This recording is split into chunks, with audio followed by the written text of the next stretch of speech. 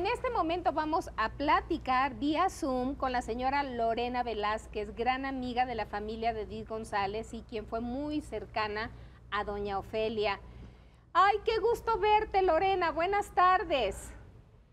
¿Qué tal? ¿Cómo están? Los veo muy bien, los veo muy guapos a todos, muy lindos. Sobre todo me da mucho gusto que en un momento tan triste ustedes sean tan amables de hablarnos para decirles que, que pues al rato vamos a alcanzar a Ofe.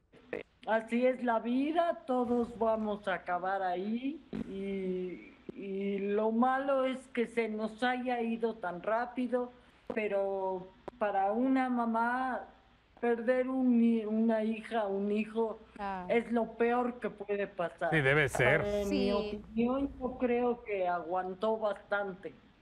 Y, y, usted, doña Lorena, ¿usted la vio que se fue deteriorando en cuestión de salud a partir de la muerte de Edith o fue alguna otra cuestión? Pues mi vida, ella tenía esa cosa que no debes de tomar azúcar, ¿cómo se llama? Diabetes. No sabemos, diabetes no sabemos si, si eh, parte fue eso, nadie sabe de dónde viene esta pandemia, qué es lo que la provoca.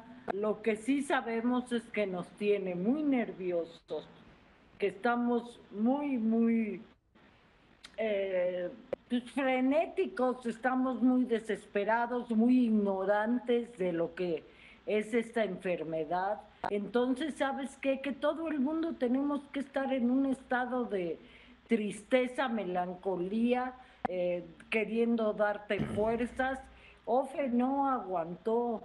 Ofe, para, en mi opinión, aguantó bastante. Ella siempre estaba, no, Lore, se me fue mi niña, se me fue, pero ¿sabes qué? Que, que en la tarde la veo, en la tarde la voy a ver. O sea, tu, todo esto de perder un hijo o una hija es, es tremendo y yo nada más de pensarlo se me cae el pelo, me siento enferma. creo que, es lo peor que nos puede pasar a un ser humano y, y, traté de no meterme mucho, traté de no eh, de decirle que sí a todo sobre todo me han hablado todos los amigos de ella, todas las amigas, todo el mundo para decirme, Lore, por favor, si te hacen una entrevista, di que todos estamos muy, muy tristes por la pérdida de Ofe.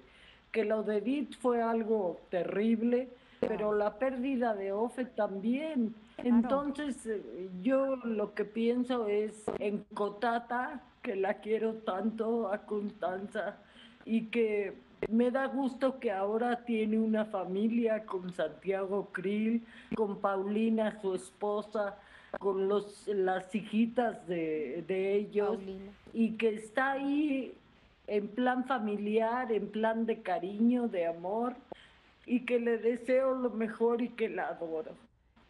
¿Cómo eh, no? Lorena, ¿cuándo fue la última vez que usted tuvo comunicación con la señora Ofelia? ¿Y qué le platicó? Como por uh, noviembre, un poco diciembre, un poco eh, febrero, ya después empezó la, la pandemia, y, ya no nos podíamos visitar, pero de todas maneras fue muy bueno para mí el saber que Constanza se iba con su papá, ¿no? Que ahí tiene una familia que va a estar muy cuidada, muy abrigada, muy llena de amor, porque a su edad es muy difícil entender estos, estas dos pérdidas. Claro. Oye, Lorena. Qué bueno. Lorena, sí, ¿cómo has vivido tú la pandemia?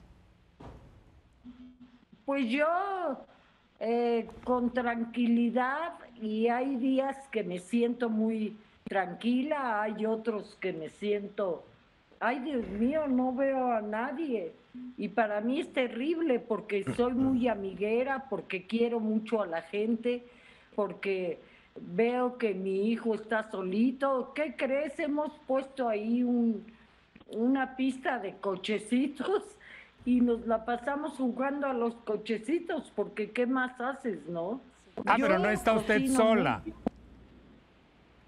Está No, su hijo allí con no, usted. no. Afortunadamente. Ah, bueno, qué bueno. Afortunadamente. Por eso es que cada vez que pienso en que pierdes un hijo, dices, no lo Sí, no. puedes aguantar. Sí, Debe Tú ser. esperas irte tú primero. Claro. Así es la ley de vida. Como cuando murió mi hermanita Tere, y yo dije, si yo soy la grande, ¿por qué se muere Tere? Y la vida es así, te da sorpresas y te da tristezas muy grandes y que tienes que vencer porque Sí, tienes que seguir. Claro. Y porque algún día nos vamos a encontrar, se supone. Pues ojalá. Ojalá y Dios me mande al maldito infierno, porque si no, no nos encontramos. Esperemos que no, mi querida Lorena. Te agradezco mucho el, esta plática que tenemos en vivo en Ventaneando, Lorena, y deseo que pronto ya puedas tener más comunicación con todos tus amigos.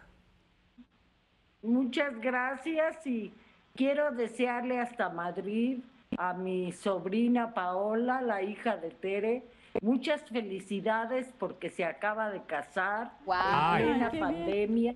¡Qué Nos bien! invitó que fuéramos, eh, Paulita, pero ¿sabes qué? Que quién toma un maldito avión ahorita. No, pues ahorita no. el aire Está difícil.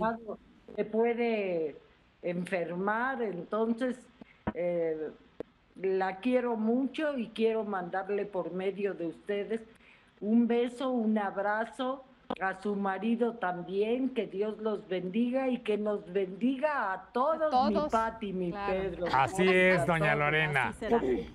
Muchas Porque gracias. sabes qué? que lo necesitamos Sí, mucho. Claro. sí, por supuesto. Así será. Gracias. Un Gracias a usted. Lorena. Cariño, porque necesito mucho cariño ahorita. Claro, claro. Mandamos. Un abrazo y un beso grande. Abrazo. Yo también, y si no nos vemos, feliz Navidad. Igual. feliz año, y que Dios nos siga bendiciendo. Así es. Gracias, Lorena. Gracias, Lorena. Igualmente. Sabes que nunca dejamos de pensar en ti. El ventaneo nunca termina. Suscríbete a nuestro canal de YouTube. Ahí encontrarás nuestros programas del día. Completitos, notas del día y contenido especial para ti. No puedes dejar de visitar nuestra lista de contenidos exclusivos. Dale like, suscríbete y forma parte de nuestra comunidad ventanera.